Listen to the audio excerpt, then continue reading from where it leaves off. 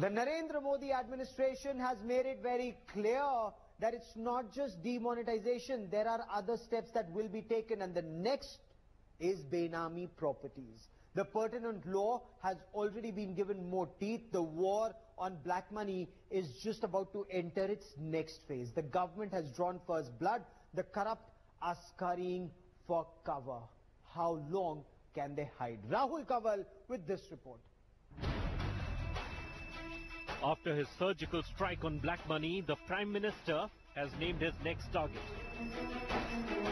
जो भी बेनामी संपत्ति होगी दूसरे के नाम की संपत्ति होगी हम कानूनन अब उस पर हमला बोल The Benami Assets Prohibition Law has been given more teeth to make sure the guilty don't get away.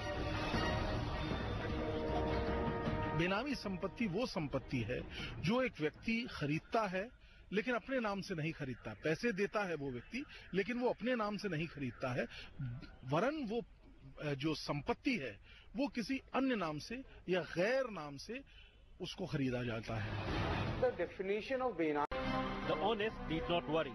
The government has made sure that genuine transactions are exempted. But if you can't explain the source of money, the consequences are dire.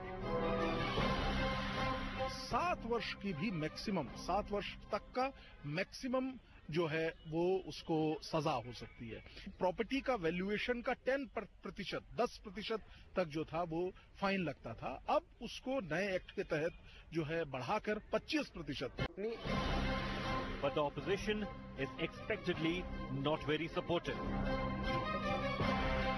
Benami property पर या भ्रष्टाचार के खिलाफ action लेने पे उनको रोक कौन रहा है? कानून तो अभी है ही है देश में।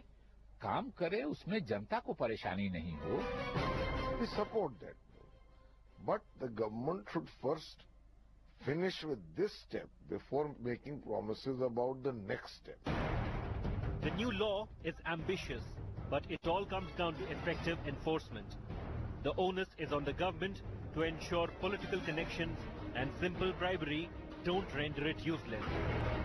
With Snehan Shekhar and Aditya Rana, Bureau Report, India Today.